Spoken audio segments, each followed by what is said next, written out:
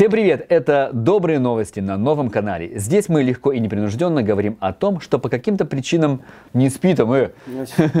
Камеру включил? Не буду читать добрые новости, глядя на тебя. Здесь Улыбайся. Это добрые новости. Здесь мы легко и непринужденно говорим о том, что по каким-то причинам не попало в главные заголовки новостей. Неделю нужно начинать с добрых новостей.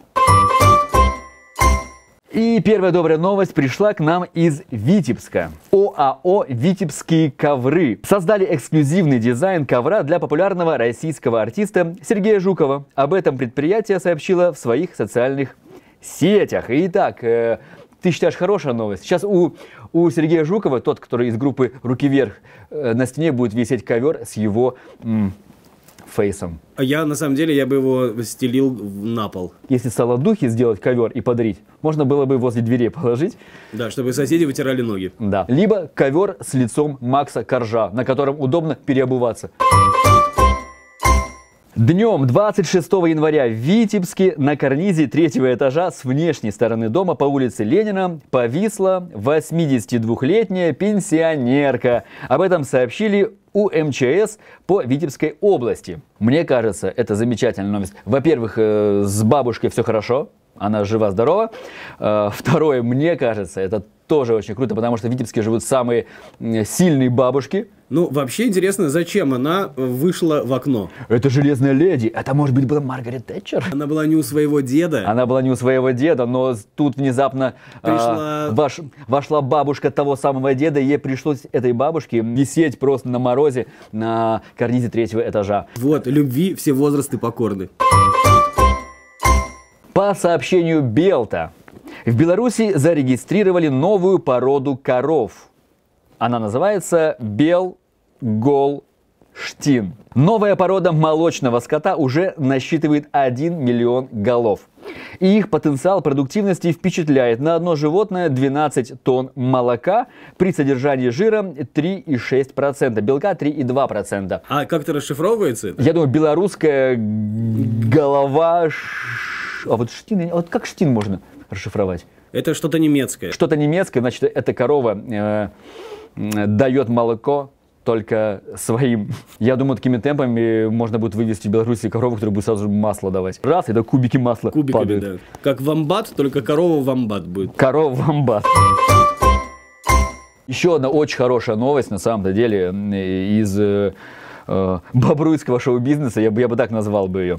Бобруйский барабанщик собрал более 300 тысяч просмотров в ТикТоке. По словам Саши, это автор этого канала, эм, идея была в том, чтобы показать, как он каждый день пьет кофе и играет на барабанах. То есть э, он барабанщик, дизайнер.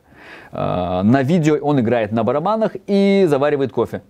Все. И вот это видео собрало 300 тысяч просмотров. Самое интересное, что в Бобруйске живет меньше людей, чем э, посмотрели это видео. Его выберут мэром теперь, я думаю. Если, конечно, мэр не снимет э, что-нибудь подобное. Вот это очень хорошая новость. Э, об этой новости говорил мой коллега в пятницу, но я не мог обойти ее стороной. В Бобруйске проведут курсы безопасного падения. По словам организаторов, люди смогут научиться различным техникам падения. Вперед, на бок, на спину. Программа падения состоит из пяти модулей. Первый модуль – как правильно падать назад на спину. Второй модуль – как правильно падать на бок.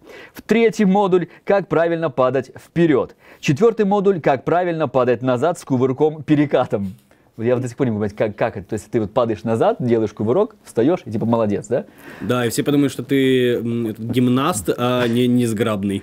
Да, и пятый, и пятый модуль, как правильно падать через препятствие. Я думаю, в Бобруйске это очень актуально. Идешь по улице, э, видишь препятствие, подскальзываешься, но красивенько. Коммунальная служба не убирает улицы, поэтому решено не убирать улицы, а просто научить людей правильно ходить по ним. ну, Слушай, я падать. думаю, что это дешевле, по крайней мере.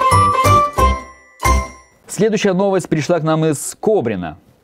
Под Кобрином вдоль дороги в ряд выстроились 17 снеговиков. Э, Вот можно посмотреть на видео.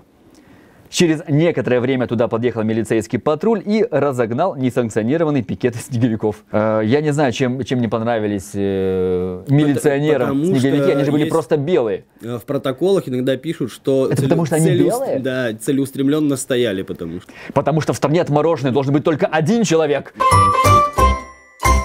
Следующая новость э, в тему наркоманов. Э, В Лунинецком районе закрыли притон. Теперь у белорусских милиционеров э, осталось одно развлечение – ездить и разгонять э, несанкционированные пикеты снеговиков. Такое грустное лицо сейчас было. Ну, притон-то закрыли. Белта сообщает. В Витебской области молодым животноводам в течение первых трех лет будут выдавать ежемесячно к зарплате по тысяче рублей. Вроде бы хорошая новость, но я специально поинтересовался. На животных тысяча рублей в месяц. На животноводов я На, попрошу. на животноводов Да. 1000 рублей в месяц, а на человеководов, то есть на молодых мам до трех лет, э, матери будут получать по 131 рублю 44 копейки. Представляешь? То есть в Беларуси выгоднее растить животных, чем детей, получается так. Но за животноводов очень э, радостно. Радостно. Очень радостно. Прикинь, по-моему, это вообще жесть какая-то. Brest City сообщает. Я обожаю названия эти. Brest City, Я тебе Гомель всегда News, говорил, что я из э, Лида де Жанейро. Лида де Жанейро. Brest City сообщают. На Луцкой в Бресте может появиться объект общественного питания до 200 мест. Мне очень нравится, что он может появиться, а может и не появиться. Ну, то есть такая... э, В общем, делаем ставки. Администрация Центрального района Минска вызвала по жалобе руководства бара «Алкоголи». Суть претензии к заведению в том, что на его дверях висело объявление «Котики, носите маски, без них нельзя в бар». Слово «котики» посчитали неуважительным обращением гражданам Беларуси. И что хочется сказать? Котики, не ссыте, все будет хорошо. Это были добрые новости. Встретимся в следующий понедельник. И самое главное, пожалуйста, подпишитесь на этот канал. Э, Нам очень нужны ваши колокольчики, ваши звоночки, э, бубенчики, лайки, комментарии. Поддержите нас. Это были добрые новости. И Андрей Марков. Пока-пока.